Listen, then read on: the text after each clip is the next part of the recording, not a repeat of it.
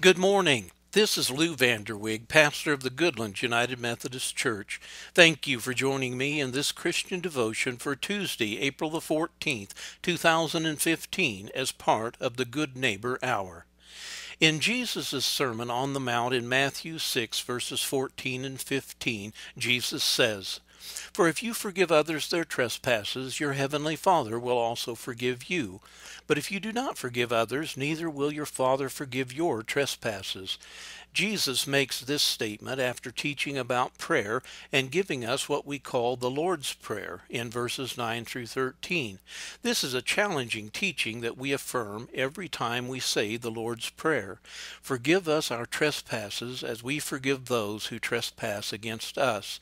If one uses the words debts or sins, it means the same thing. I don't know about you, but I would rather not have my forgiving others tied to my being forgiven by God. I need and want to have my trespasses forgiven, but forgiving others who have trespassed against me is a whole different matter not according to Jesus. Jesus says the two are interconnected. Jesus reinforces this in Matthew 7, verses 1 and 2, when he teaches about judging others. Do not judge, so that you may not be judged. For with the judgment you make, will be, you will be judged, and the measure you give will be the measure you get. The truth is that when God offers one a second chance through the forgiveness of sins, one's resentment of others can be a barrier to stepping into the new future that God calls us to. When Jesus gave Simon Peter a second chance, he also gave him a new purpose.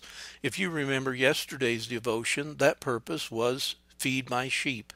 When we enter into the new life that comes with saying yes to Jesus' offer of grace, it challenges us not only to leave our sin behind, but it calls us to leave everything behind that will keep us from becoming the new creature, creature that our redemption promises.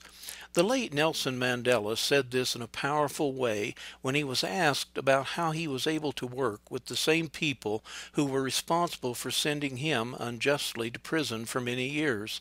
Nelson Mandela said, Resentment is like drinking poison and then hoping it will kill your enemies.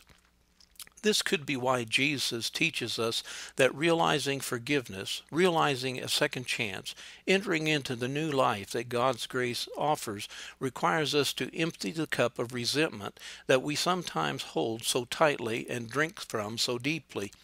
Drinking from that cup of resentment poisons our opportunity for new life. This is not an easy teaching. How difficult it must have been for Jesus when he looked down from the agony of the cross upon those who placed him there and said, Father, forgive them, because they do not know what they are doing.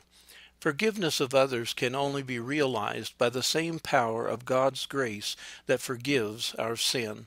Let us pray. Heavenly Father, by your grace you offer us new life. By your grace, help us to forgive others as we have been forgiven.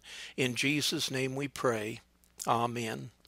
On behalf of the Goodland United Methodist Church, this is Pastor Lew Van Der Wege wishing you a good day filled with the grace and peace of our Lord Jesus Christ.